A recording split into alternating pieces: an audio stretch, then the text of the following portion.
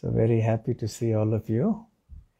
So, what we'll do is that uh, I'll do a little kirtan and uh, a short lecture, and then um, a little question answer, and then I can meet all of you after that. I mean, as we are, I can talk to each of you. It's also being streamed on the Facebook, so we can.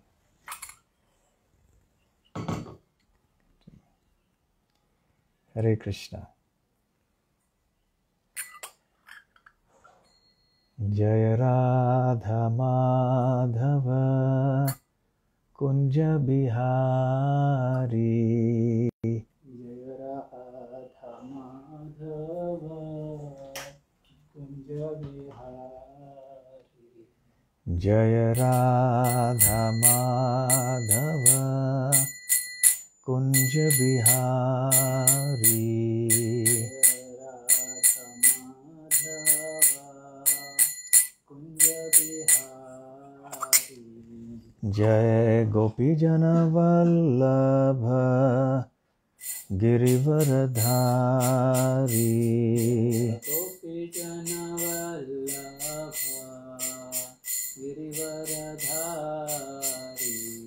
जय गोपी जन वल्लभ गिरिवरधारी। गोपी जन वल्लभ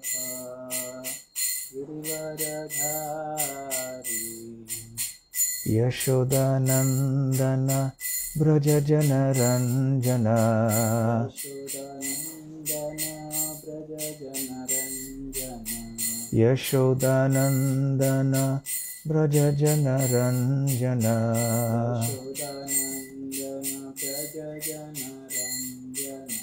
यमुनातीरा वनचारी।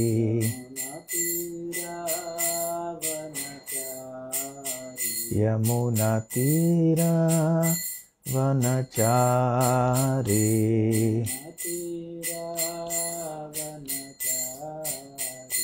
जय राधा माधव कुञ्ज बिहारी।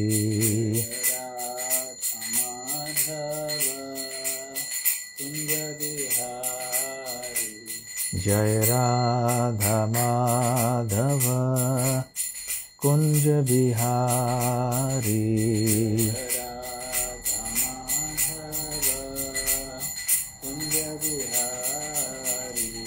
जय श्री कृष्ण चैतन्य प्रभु Nityanand Shri Advaita Gadadhar शिवासादि गौरभक्तवृन्द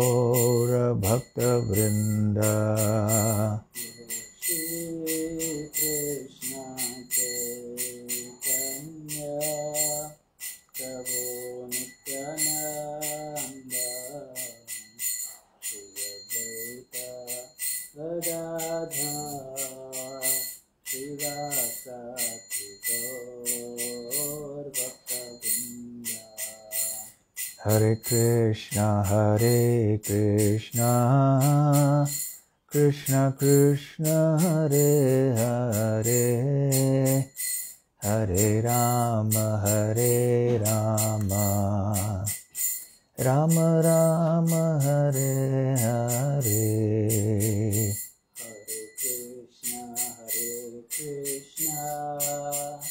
Krishna Krishna Hare Hare.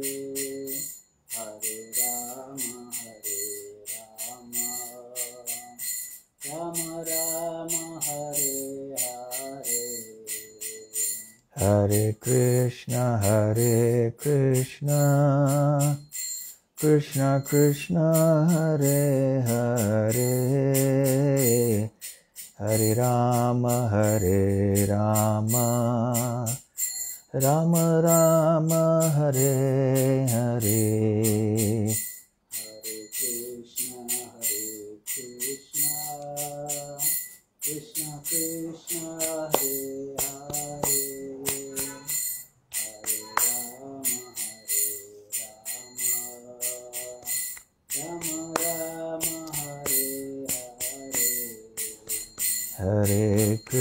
Krishna, Hare Krishna, Krishna Krishna, Hare Hare, Hare Rama, Hare Rama, Rama Rama, Hare Hare.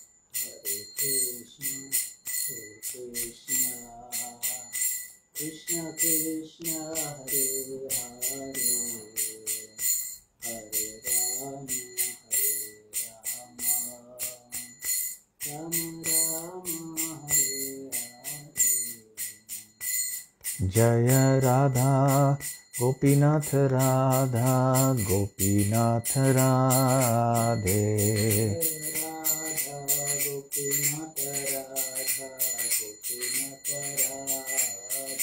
जय राधा गोपीनाथ राधा गोपीनाथ राधे। राधा गोपीनाथ जय गौरानीताय जय गौरानीताय गौरानीताय जय गौरानीताय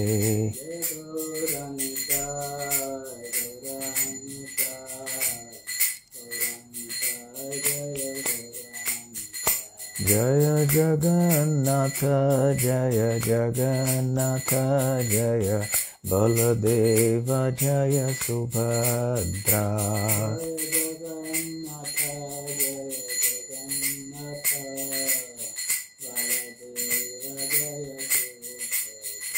जय जय प्रभुपाद प्रभुपाद प्रभुपाद जय जय प्रभुपाद।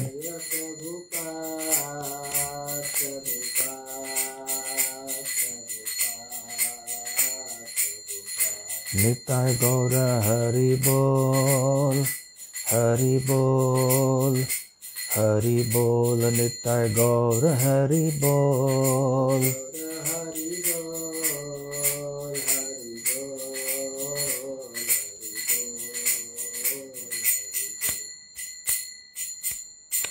गौर प्रेमानंदे, जय ओम विष्णुपाद परमहंस परिव्राजकाचार्य अष्टोत्र सत्य हे स्वाइन ग्रे सभय चरणार विंद भक्ति वेदांत स्वामी शील प्रभुपाद की जय। अनंत कोटि वैष्णव वृंद की जय। मिताय गौर प्रेमानंदे। समवेत भक्त वृंद की जय। समवेत भक्त वृंद की जय। समवेत भक्त वृंद की जय। श्री श्री गुरु गौरांग की जय। हरे Krishna.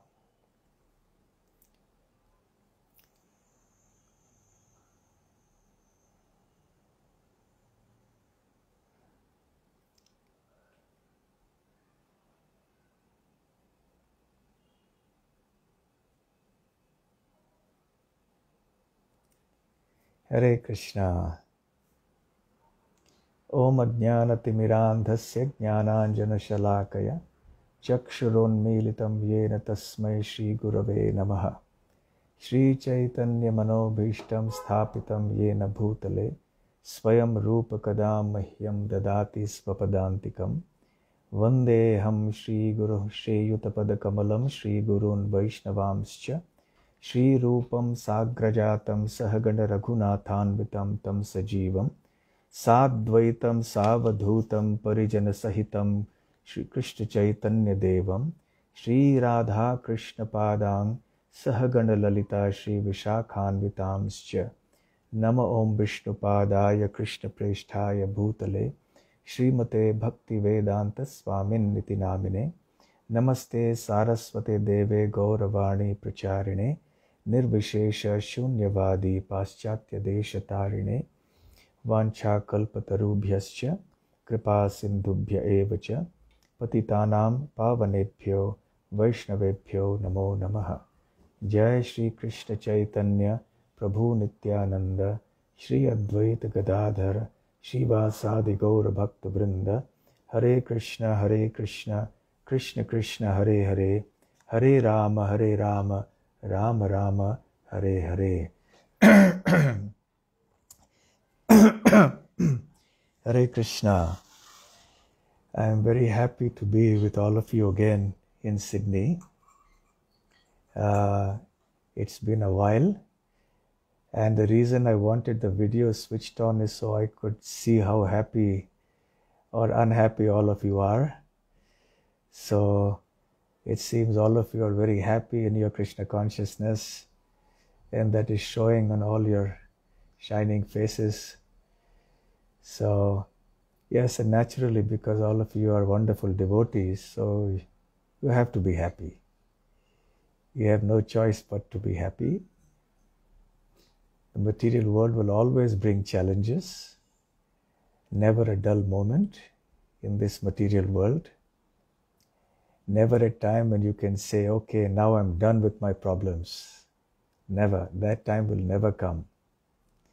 So, relentlessly, one after the other. Oh. Sorry for the Facebook viewers. Um, the Zoom link has been disconnected, so I don't know what happened.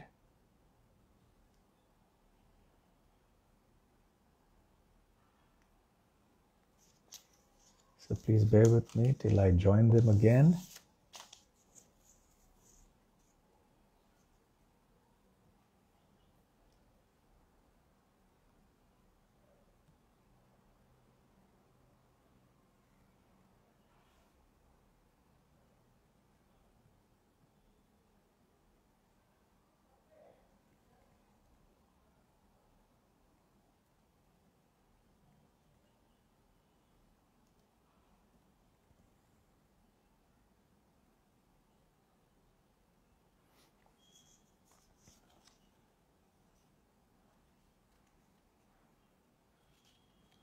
Hare Krishna.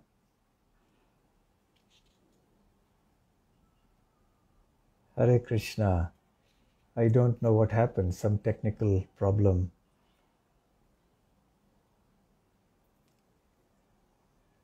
Okay, okay. So everyone is back again? Okay. Hare Krishna. So, what was I saying? Yeah, so this material world will have so many difficulties coming one after another. We should never expect that there will be peace in this material world. And more often than not, these difficulties will come unexpected, out of the blue. Padam padam yad vipadam natesham. Sometimes they are foreseen and sometimes they are unforeseen. So uh, one has to always prepare. That is the message of the new year. You know, in this world, there are different kinds of people. Some people are pessimists, they will always see the negative side of things. Some are optimists, they always see the positive side of it. And some are realists, they see the reality of the situation. So, what should we be? We should be optimists, but our optimism should be based in reality, not in illusion. So, if we are optimistic about being happy in the material world, that optimism is futile. It is ignorance because it is based on something that is not true. But if we are optimistic about uh, our spiritual future, if we do our Krishna consciousness nicely, then uh, that is optimism that is based on reality, on realism. So, we should all be optimistic, yes, but basing our optimism on reality as is given in Bhagavad Gita and Srimad Bhagavatam. So, simply being pessimistic can uh, be a very big dampener for our spiritual enthusiasm. So, we should always try to generate some positive energy. So, a pessimist might say, when you wish him Happy New Year, So he may say, well, what's new about it?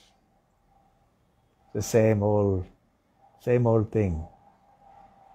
Year before last we had something, this year we had COVID, next year we'll have something else. So, yes, indeed, that's the nature of the world. So, in one sense, there's nothing new in the material world, it's all the same. So, from that point of view, the pessimist is right because there's really nothing new.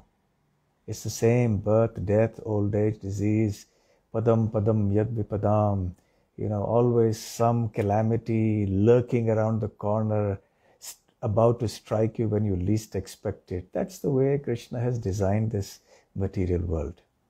So there is some truth in what the pessimists say also. But taking a pessimistic approach is not conducive for our mental well being and for our enthusiasm to pursue our spiritual life. Hmm? So, the uh, one of the symptoms of uh, advanced devotional service is called Asha Bandha. Asha Bandha means that, you know, to give a loose English translation from a famous English poet, hope lies eternal in the human breast.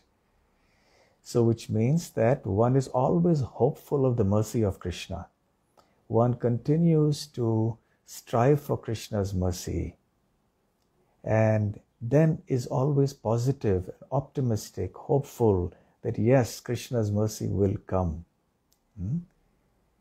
So, in the new year, what will be new for us?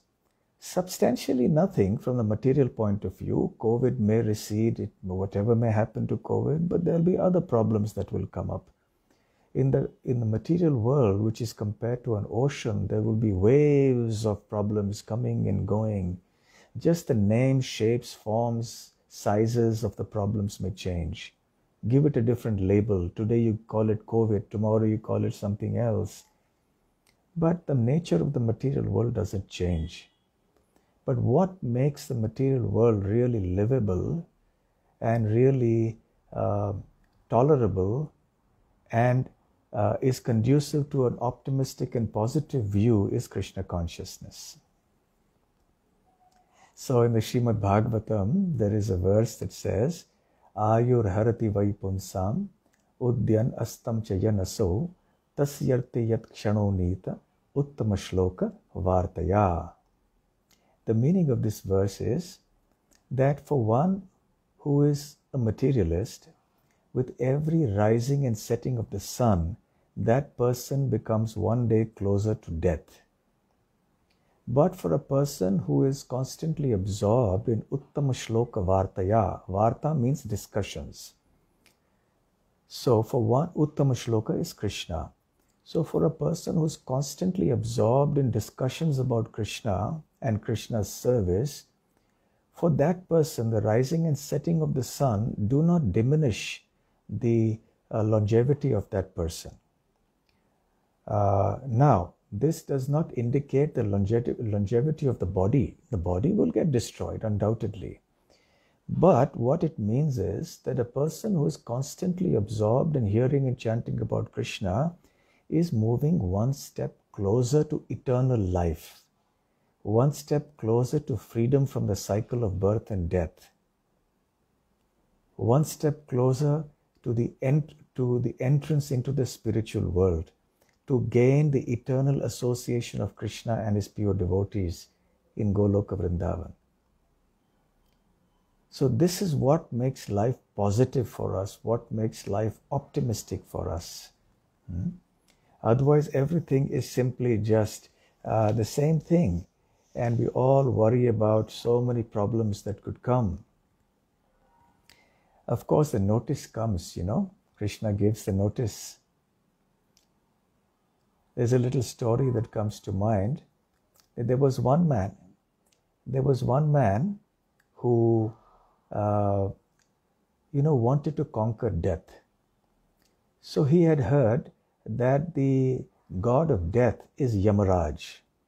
So he started performing austerities to uh, please Yamaraj.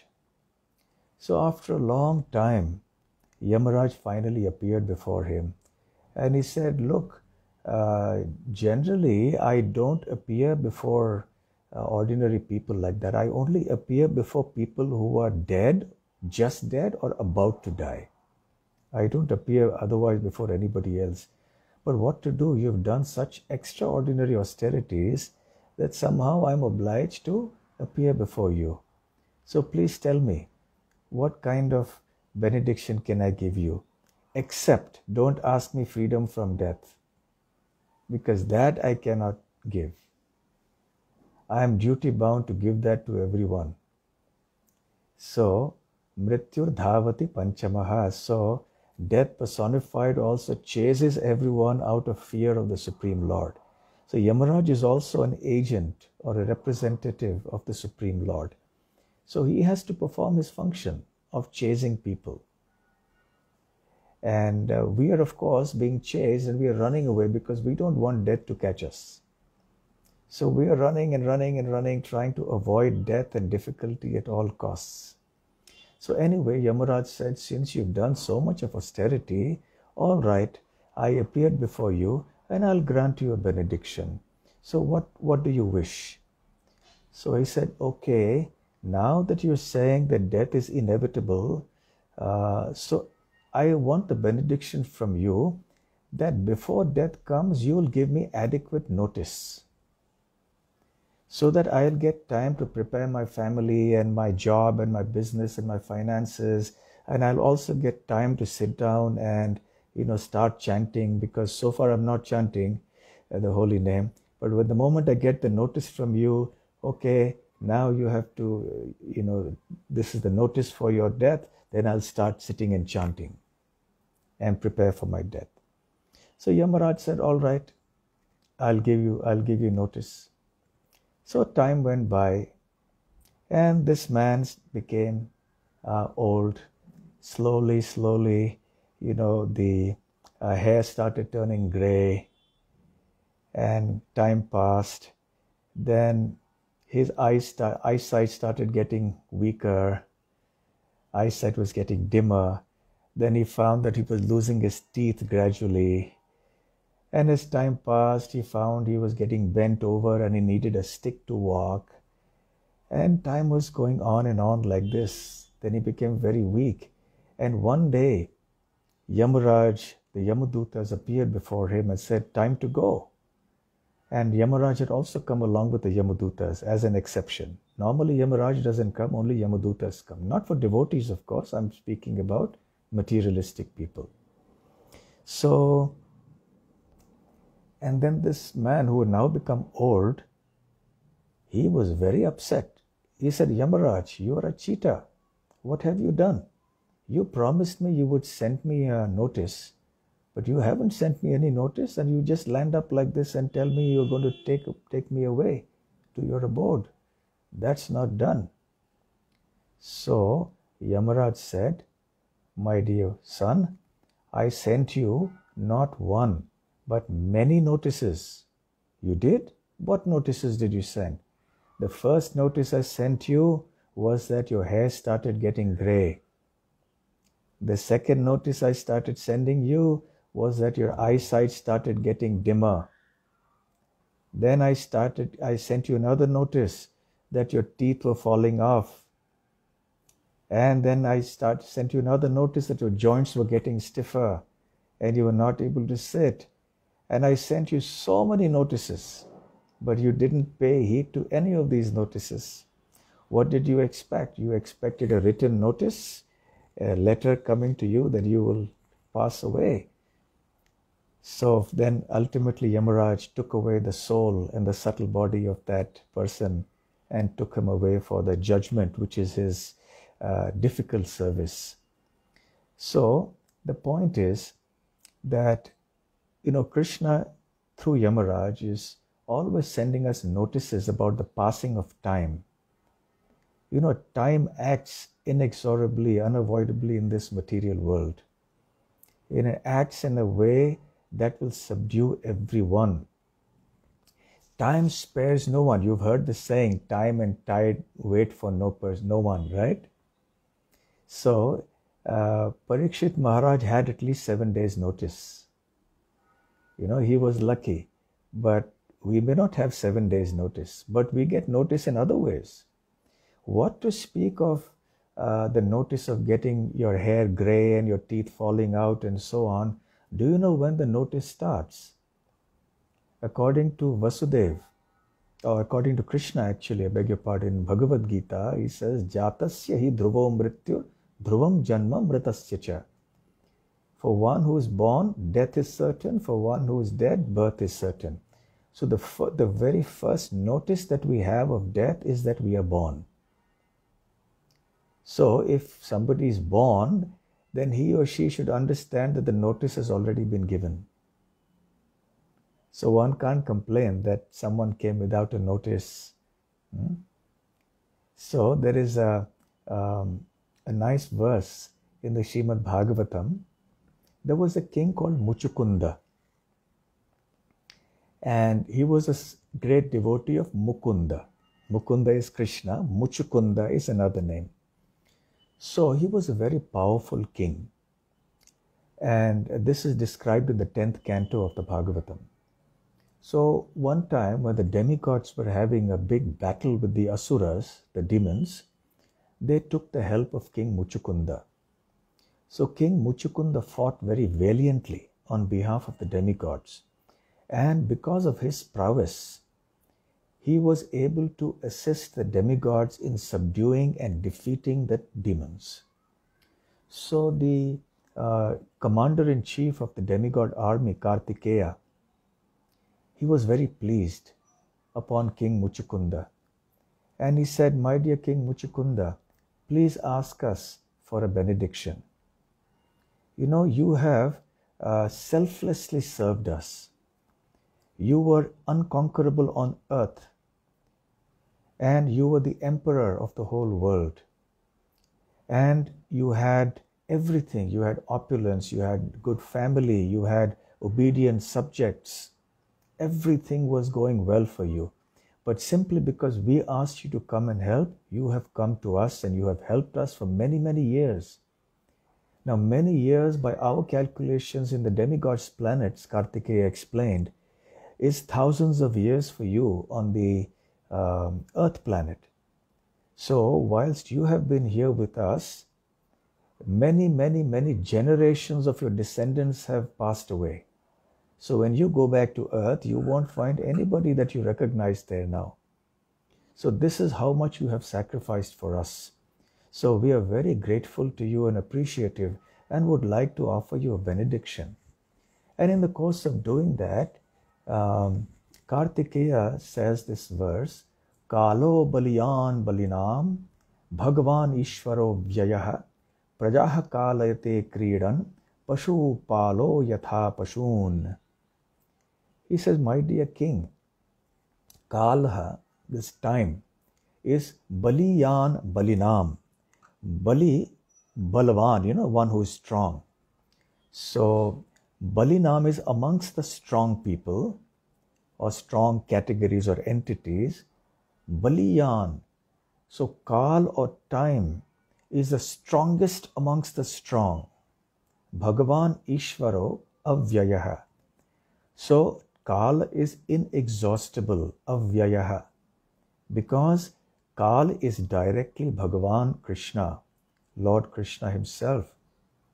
And Prajaha Kalayate, and Krishna in the form of time, he controls the living entities in this world. As if in play, Kridan. And how does he control the living entities through the time factor? Pashu Palaha yatha pashun, just as an animal herder controls the animals.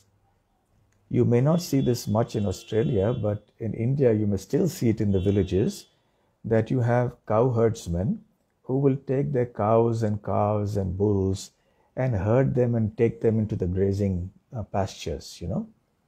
So they will control their cows or the buffaloes because the buffaloes may stray somewhere else and they will bring them back. So, just as a cow herder or an animal herder herds together the animals under his care and takes them from one place where there is good grass available or there's a water spot for them to drink water, So the cowherdsman actually takes them very carefully from place to place. Similarly, the Kal Shakti, the energy of the Lord, the time energy of the Lord, actually um, enables or takes the living entities from one environment or one situation to another, to another, to another, one life to another life. And this continues life after life. Because Krishna is very merciful, so every life that we experience, every birth that we undergo, is a system of purification for us to enable us to realize that this material world is a place of misery. We are not meant to be here. We should not be here. We should try to get out of this material existence and go back to Godhead. So, this is actually the mercy of Lord Krishna. So, uh, he actually is herding all the different jivatmas, all the spirit souls, and taking them according to their karma to different destinations. So, inexhaustible time, stronger than the strong, is a supreme personality of Godhead Himself. Yes? So, this is how we are all playthings in the hands of Kal. You know what the word Kal actually means? Why time is called Kal? Srila Prabhupada in one purport explains that time is called Kal because it constantly changes the shape of everything. It always changes everything. Nothing will remain the same. When we were children, we, we looked, you know, like children. Now we don't look like children. When we grow very old, we look different. So everything in this world is constantly changing. So, because the time factor constantly changes the shape of everything, it's called Kala. So, Kala Shakti. Hmm? So, just like so Muchukunda, anyway, uh, after he had told, Kartikeya had told Muchukunda about this, then he asked Muchukunda for, a, he said, ask for a benediction.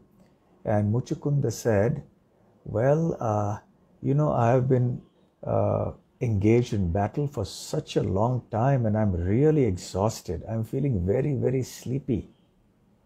So please give me the benediction that I can sleep peacefully without anybody disturbing me.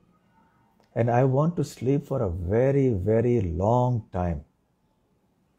By then, he had come back to earth, or he was about to come back. He, he was resting somewhere. So, uh, so then uh, then asked that if anybody were to uh, disturb me, disturb my sleep, then please give me the benediction that when I open my eyes, being so disturbed in my sleep, then the person who has disturbed me, his body should burn to ashes. So, so sleepy was he that he asked such a strange benediction. So, anyway, this was all ultimately according to the plan of the Lord. So then he lay in a cave, you know, Muchukunda, outside of Mathura at some distance. And when the time came for Krishna to move from Mathura to Dwarka, Jarasandha had attacked already for the 18th time, and another demon called Kala Yavana who had also attacked, and Krishna at that time walked away from the battlefield, which is not a thing that a warrior is supposed to do. A warrior has to always stay there on the battlefield and, and fight. So, uh, when Krishna walked away, of course, devotees glorify him as Ranchod. Ran means the battlefield, Chod means one who leaves. So, devotees glorify Krishna as uh, one who fled from the battlefield. If anybody else does that, they would be condemned. But when Krishna does that, he is worshipped. So he came away. He walked and walked, and Kala Yavan was chasing him, and they came into this cave where Raja Muchukunda lay asleep. And Krishna then disappeared inside the cave. When Kala Yavan came in, he saw someone lying there. He wrongly assumed it was Krishna, and he kicked him with all his might. And Muchukunda uh, awoke and he saw this person in front of him, and immediately Kala Yavan's body was burned to ashes. You know, So, in this way, Krishna accomplished his purposes. Krishna had other things to do. So then he moved on, and then actually at that time he blessed Muchukunda. Muchukunda, then Krishna appeared before Muchukunda. Uh, Muchukunda introduced himself and understood that this is none other than the Supreme Personality of Godhead. And he asked for pure devotion, which the Lord very happily gave. Similar to Muchukunda, there was also another king called Khatvanga. Mention of him comes also in the Srimad Bhagavatam in the uh, second canto, also in the ninth canto. Just like Muchukunda was called by the demigods to help them in the battle against the demons, uh, Khatvanga Maharaj was also so called. Uh, he fought valiantly on behalf of the demigods, and when time had elapsed and the battle was over, the demigods were victorious. Then the demigods asked Khatvang. He said, uh, they said that please uh, ask for a benediction. Uh, we are very happy uh, to grant you any benediction that you may want. So uh, Khatvang Maharaj said, um, no, uh, uh, well, I want liberation. So they said, no, accept liberation. You can ask us anything. So he said, okay. So the, uh, then you tell me how much time do I have left to live in this world?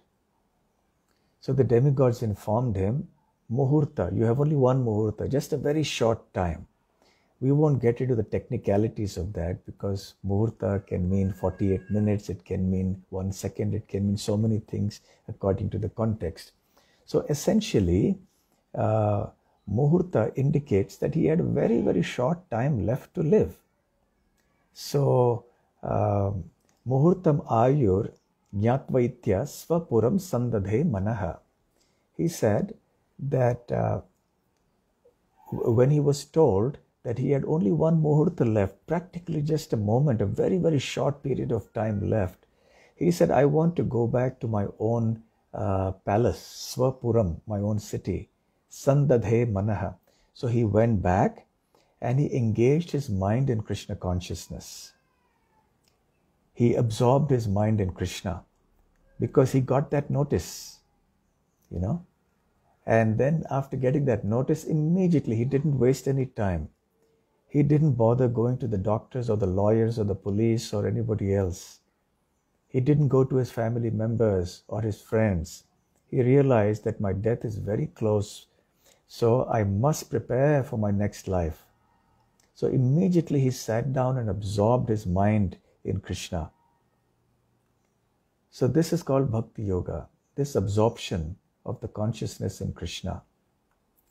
In the fourth chapter, in the seventh chapter uh, of the Bhagavad Gita, Krishna says, Maya sakta manah partha yogam yunjan madashrayah asanshayam samagram mam yatha jnasyasi tat shrinu. So, tat shrinu, please hear, O Arjuna, how yatha jnasyasi, how you can know me. Mai asakta manah partha, O partha, if you, your mind becomes attached to me and you become fully conscious of me and take shelter of me, yogam yunjan mad ashrayah, asanshayam, without any doubt, samagram mam, you will attain to me. In other words, what Lord Krishna is saying is that if one's mind, if one's consciousness is always engaged in Krishna's uh, thoughts, in, in Krishna's service, in chanting Krishna's name, hearing Krishna's pastimes, and so on, then we will be able to know Krishna by this process. Hmm? So, in this way, um, Khatvanga Maharaj understood, he got that notice of only a few minutes or few seconds or whatever it was. Hmm? So, he was able to utilize uh, that short time that he had for this purpose. By the way, do you know who Maharaj Khatvanga is? He's, he's an ancestor of Lord Ram. Lord Ram's father was Dashrath Maharaj, as you know. Dashrath's father was Raghu, or um, uh, yes, Aja, Aja, I beg your pardon. Aja's father was Raghu. Raghu's father was Dirghabahu, and Dirghabahu's father was Khatvanga. So he was an ancestor, four or five or six generations removed. So this Maharaj Khatvanga is very famous because of this particular incident. So Srila Prabhupada used to cite uh, this story many times to indicate that um, even if we have less time, let's say someone takes to Krishna consciousness in old age, doesn't matter. But if you take to Krishna consciousness very seriously, uh, then you can make your life perfect. Uh, of course, we cannot outwit Yamaraj. You know, we may try to, uh, even try to get Yamaraj's mercy, but that's the wrong kind of mercy to get because Yamaraj is a devotee of the Lord. So the way to get Yamaraj's mercy is to become a pure devotee of Krishna. You know, there was one person who tried to fool Yamaraj like that. You know, he he knew astrology and all that, you know, so he he calculated the time of his death. And he got the exact moment when he would die. So what he did was he was also a sculptor by profession. So he made many sculptures uh, of himself. And all of them were identical to him in appearance. And you know, they were sitting in that famous pose. You know, the famous pose of that person sitting like that, thinking. you heard that pose, uh, seen that pose of that philosopher was sitting like this, contemplating on life and so on. So, uh, he was sitting like this. So Yamaraj came at the time of, of death for this man. And he saw, oh my God, what is this? They all look the same. You know, who is the real person? Who is a statue and who is not a statue? I can't make out. He's done such a good job. So Yamaraj, being very intelligent, understood that he was trying to pull a fast one on him. But Yamaraj is too intelligent. So he paused for a while and then he said, Oh, what a terrible sculptor. He doesn't know how to sculpt statues at all. How terrible. Now, you know, we can tolerate anything in life, but we can't tolerate people criticizing us. So, the moment he heard his own criticism as a sculptor, he was very proud of his own ability as a sculptor. But when he heard this criticism of him as a sculptor, he became enraged. What do you mean? He woke up. Yamra said, oh, okay, got you, come on. and then he took him away. He was able to identify him. So the point is, we cannot uh, try to pull a fast one on Yamaraj or what to speak of Krishna. So it is better that we just follow Yamaraj's advice. you all know the story of uh, Ajamil, yes? Ajamil had taken the name of Lord Narayan uh, even not intending to do so, he just called the name of his son. uh, but nevertheless, because even unknowingly he took the name of Lord Narayan, uh, he was protected from going to hell. And the Yamadutas were stopped by the Vishnu Dutas and they were quite perplexed and they went back to Yamaraj.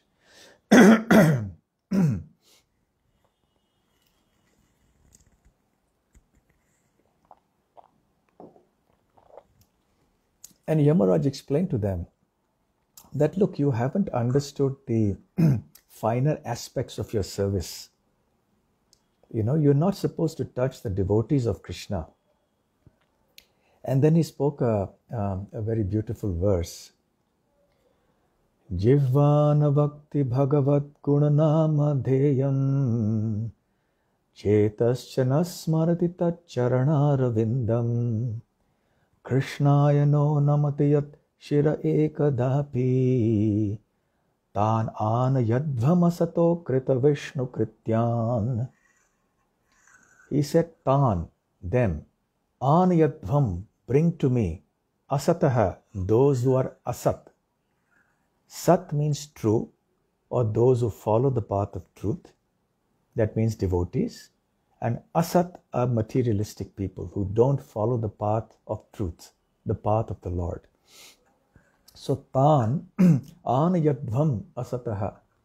So Yamraj told his messengers, bring to me those people, those materialistic people who do not who do the following.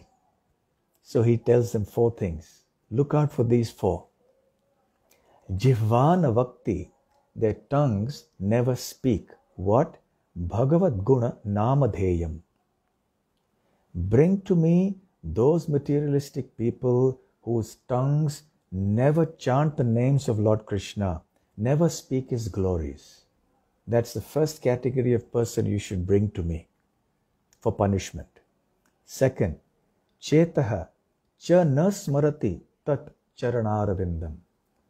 Bring to me those people whose chitta, whose chetana, whose consciousness na smarati is not absorbed in uh, tat charanaravinda. That means his, Krishna's lotus feet. So bring to me those materialistic people who do not remember Lord Krishna. The third category of persons you should bring to me, Krishnaya no namati yat shira ekadapi. Bring to me those people who even once do not bow their head at Krishna's lotus feet no Krishna Krishnaya, that means unto Krishna, na namati. Naman means to offer respects or bow down or obeisances. So Krishna no namati. He doesn't offer, they don't offer obeisances to Lord Krishna, yat shira with the head. Ekadapi, even once. So bring to me those people who have not bowed their head before Krishna even once. The implication is that even if someone bows down his head before Krishna even once, then he or she will be protected uh, from being arrested by the messengers of, of Yamaraj. And finally, he says, Akrita Vishnu Krityan. Akrita means he, they do not perform. They do not perform what? Vishnu Krityan, their duties towards Lord Vishnu. So those people who do not perform their duties towards Lord Vishnu, bring them to me. In this way, Yamaraj gives a very, very important instruction. Essentially, that uh, if we are devotees of Krishna, then we will be always protected. Hmm? Very beautiful thing. So, the best way to prepare uh, for our new life in the spiritual world is to follow Yamaraj's advice. If we don't follow Yamaraj's advice, then we will have to see the nastier side of Yamaraj. Because, you know, just like uh, a child, you know, when it follows the mother's uh, instructions, then the mother becomes very loving and speaks very nicely to the child but when the child deliberately misbehaves, despite the mother having given so many the instructions so many times, then the mother may give some punishment, and the child may find that painful. But the punishment that the mother gives is also out of love. Similarly, Yamaraj has already given us so many notices. Krishna has sent many notices. And if we, as children of the Lord, uh, do not see these notices, then sometimes Yamaraj may give that little rap on the knuckles, so to speak. And may say, okay, wake up. Hmm? So we will have to wake up at that time. So it is better to pay heed to the notices uh, that Krishna very kindly sends us. It's like the mother repeatedly telling the child, don't touch that knife, don't touch that knife, Yes, but the child still goes and touches. Then the mother punishes the child in some way. Hmm? So, well, uh, our life can become new, can become fresh, can become eternal and full of happiness when we connect ourselves to uh, the supreme eternal, the supreme fresh, the supreme merciful Krishna then everything automatically will work out. Hmm? Why should we worry and spend so much time for our uh, material maintenance and so on? undoubtedly we have to work hard, we have to do whatever is necessary for our up- upkeep, but we should not be unduly and overly anxious about it. We should know how much effort is required for what, how much effort for our worldly duties, how much effort is required for doing every little thing in our life. Ultimately, it is Krishna who provides. Ananyas chintayanto mam ye janaha paryupasate tesham nityabhiyuktanam yogakshemam vahamyaham. So Krishna is providing anything, everything anyway to all his devotees. So we need not be unduly worried. Since I'm somewhat in a storytelling mood, I might as well tell you one more story. Okay. So, you know, there was there were these two people who uh, used to go to the king every day for charity.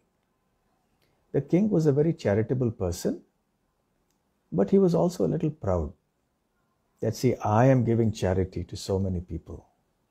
It is because of me that my subjects are able to survive. So these two people used to go and um, they would get some dakshinas from that king every day and they would go back. And one day the king asked them,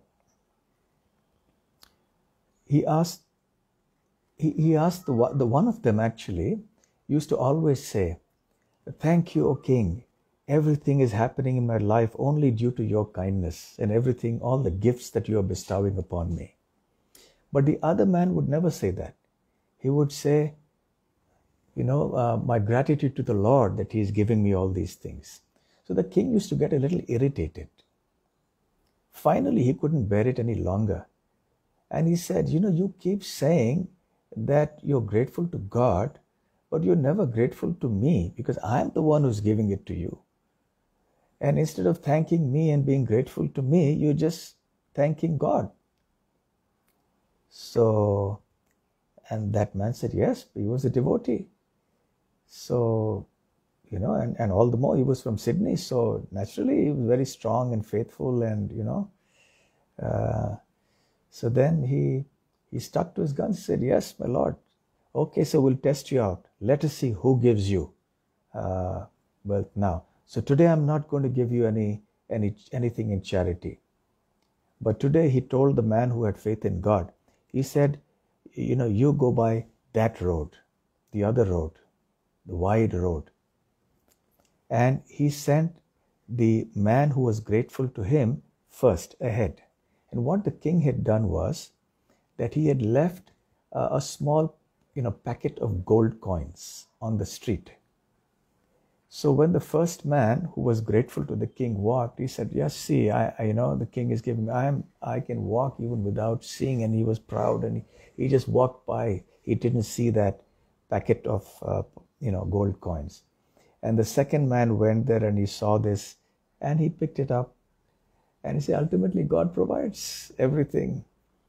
So the king had intended that uh, the man who went first should actually get the gold coins. But because he, he was bewildered by the Lord, he became proud and he didn't see those gold coins. It was the second guy who saw the gold coins, even though the king didn't want him to get it, but God wanted him to get it and he got it. so, you know, material things happen by destiny. So, even if things that we desire in our material life don't happen, we should not be too much disturbed about it. Yeah, why not one more story also?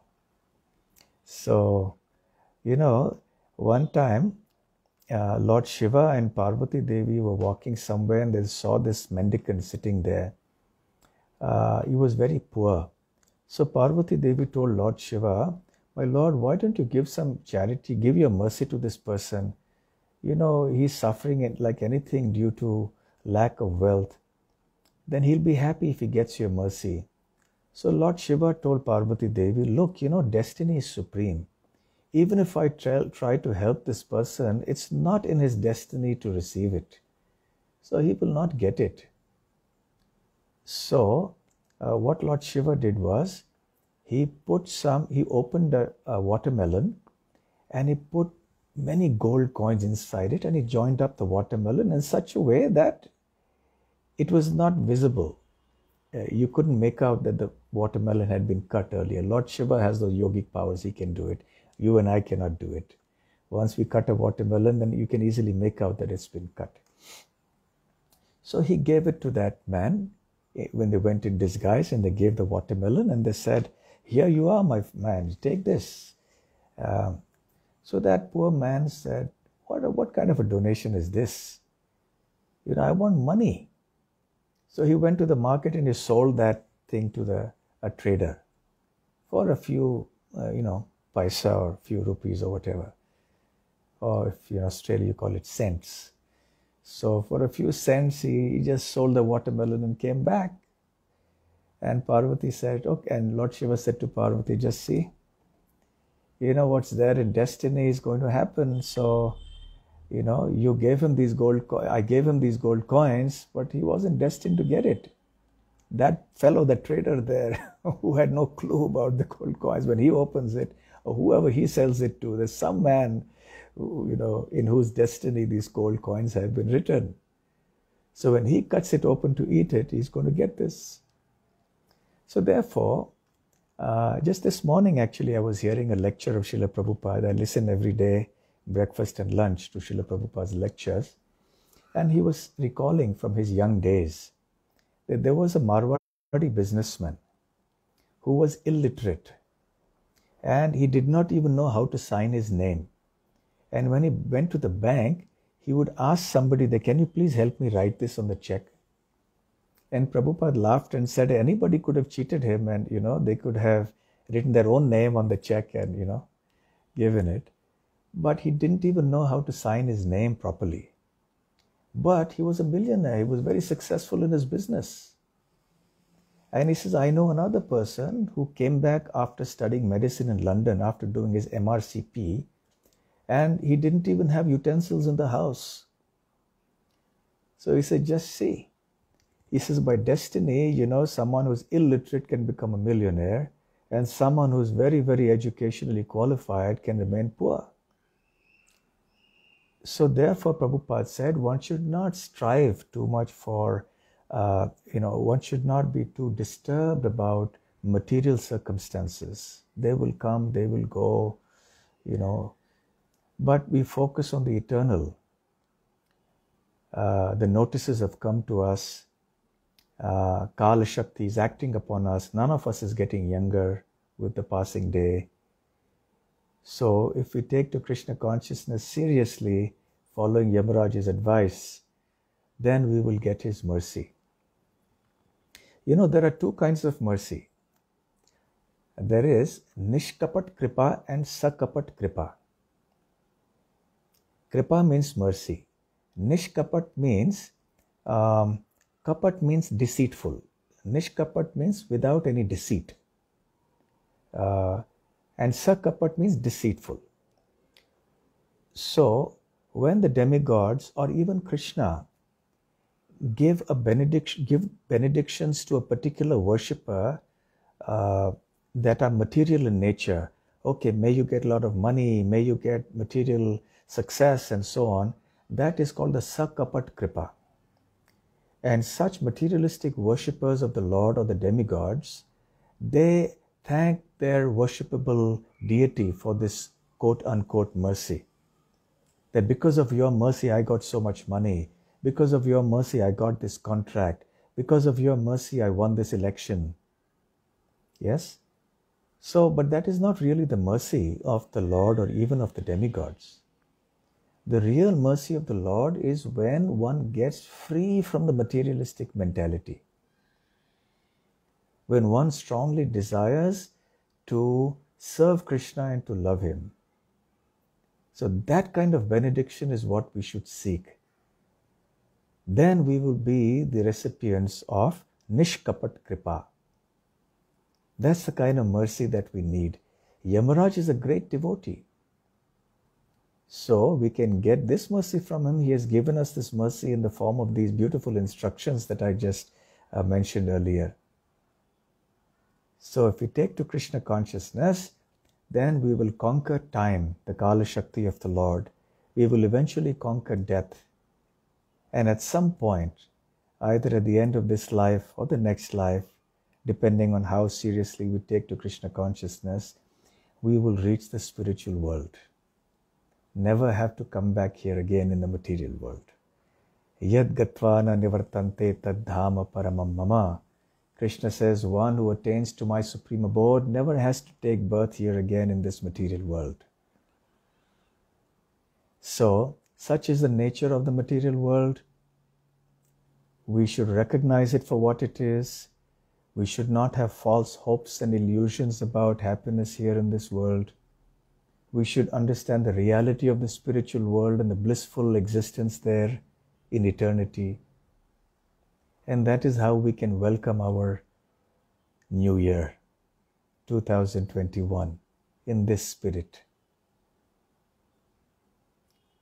Unless we look at things from a Krishna conscious point of view, you know, the pessimist, uh, there will be a lot of merit in what the pessimist thinks about the world. But if we look at it from the point of view of Krishna consciousness, then we can have uh, a new year that is filled with Krishna consciousness. Krishna never promises that it will be a new year without difficulties. That he doesn't promise. But it will be a new year that is full of Krishna consciousness. And the difficulties that Krishna will send into our life will actually be His mercy to uh, draw us lo- draw us more and more towards His lotus feet. So let us welcome the new year in this spirit. Hmm? So I think, oh, it's 1.30 already. Okay, so 1.35. So we've had almost an hour's lecture. So I think we'll stop here. Uh, so this was a brief talk about how we can, in what consciousness we can welcome the new year. Hmm? With every new year, we are recognizing knowingly, unknowingly, consciously, unconsciously the passing of time. Hmm? Hare Krishna. So, what I'll do is that uh, if there are any questions, I'll take them and then we'll uh, bid goodbye to our Facebook viewers and then I'll spend more time with all of you on the Zoom. Okay, so are there any questions?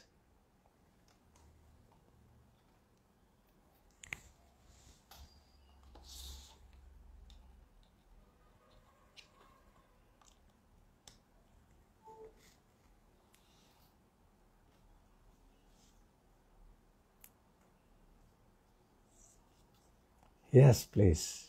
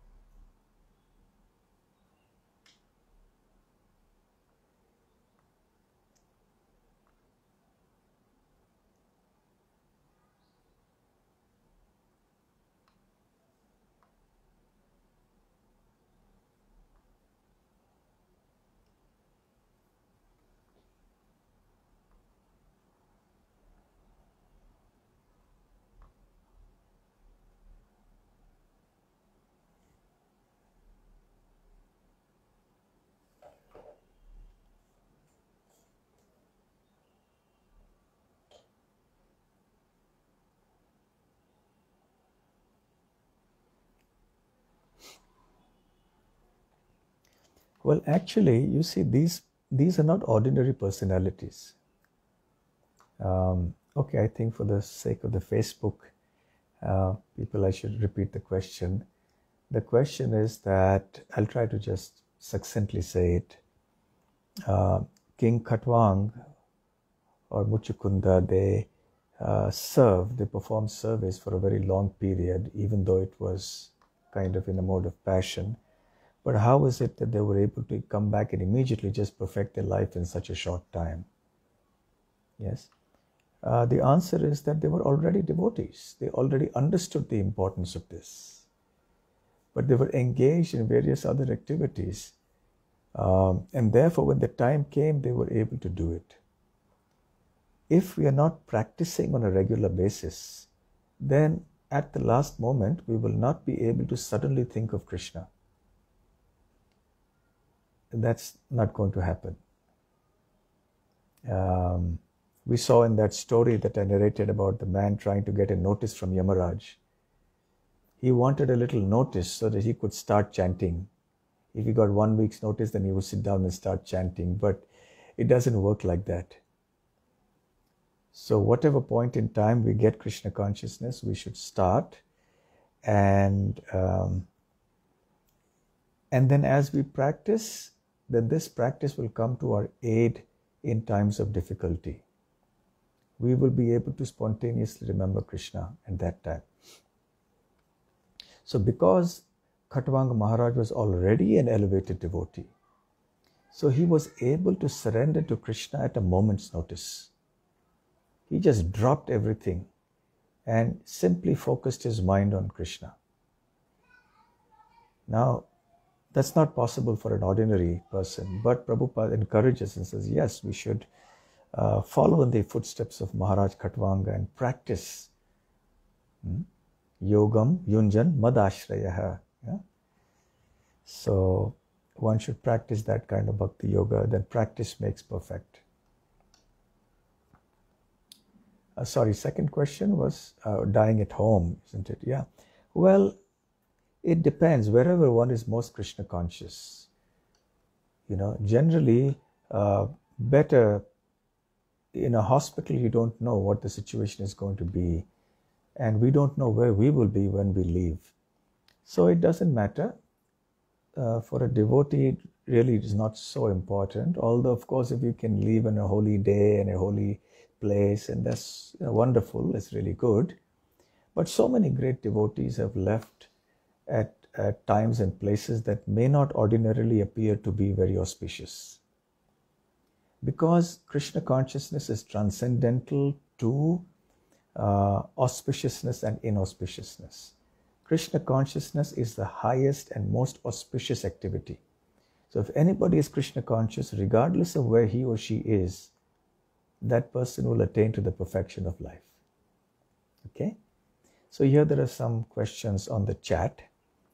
Uh, first from Rugank, which says the four things Yamaraj mentioned regarding whom to not bring to his court could be applicable to yogis as well, because they also worship Krishna, bow down to him. Is this correct? Yes. Hmm? Actually, anyone uh, who slightly becomes a devotee also Bhagavad Gita Kinchid Adhita Ganga Jalalava Kanika Pita. Yes, you know that verse. Hmm? सकृत अपि मुरारी समच्चा त्रियते तस्य यमेन न चर्चा। So there a verse like that which says that if you study a little bit of Bhagavadgita every day Bhagavadgita किंचित अधीता even a little bit of Bhagavadgita you study every day Ganga जल लव कणिका पीता if you drink a little bit of Ganga jal in the palm of you hand every day Sakrat Api Murari Samarcha, even once or even casually you worship Murari or Lord Krishna. Triyate Tasya, if you do these three things, then Yamena na charcha. You don't have to get into arguments with Yamaraj. Meaning that at the time of death, you don't have to say, Why have you come to me? you know, please give me another two years to live. You don't have to worry. So Yamadutas will not trouble you. So like that, uh, whether it's a yogi or uh, you know just a basic devotee, if they're somehow or the other bowing their head to Krishna, chanting Krishna's names, you know, then uh, Krishna protects them. And eventually, when they become pure devotees of the Lord, then of course they will go back to the spiritual world. So, another question from Ankit. Uh, when Yamaraj mentioned four characteristics of people who should be brought to his court, how shall we understand his instructions shall we take it literally? Shall we take it as a principle? Or shall we take it as Yamaraja's bhav for Vaishnavas? Uh, well, we have to take it basically as all three. Now, um, there may be millions of people who have bowed down their head to Krishna sometime. So maybe the Yamaraj, Yamadutas may come, may not come. But the point is, as it happened in the case of Ajamil, that the Lord protects such devotees. We should not think these things are exaggerations, although they may not happen for every single individual, but these are not exaggerations. They are matters of principle that, and this appears in the Srimad Bhagavatam very clearly. Because Ajamil had said this, has said Narayan, so one holy name of the Lord is enough to destroy millions of sins. So yes, so we should we should take it as all three. And then invoking the Kaimutya Nyaya principle, which means the if for this you get this much benefit, then for that you get how much more benefit. If even somebody casually serves Krishna in this way, he or she is protected uh, by being, from being arrested by the Yamadutas. What to speak then of the sincere devotees of the Lord who are chanting it with, with faith, with determination, and, and using all their time to serve Krishna? What to speak of them? Right? Okay. So I think we'll take leave of our Facebook guests here. So thank you very much. And we, for those of you on the Facebook, I wish you all a very happy new year. By happy new year, I mean a Krishna conscious new year. Um, materially, things may be up and down, as is the nature of this world. Uh, but if we remain steadfast in our faith, in our practice of Krishna consciousness, we will be protected. Thank you very much. Srila Prabhupada ki Jai. Hare Krishna.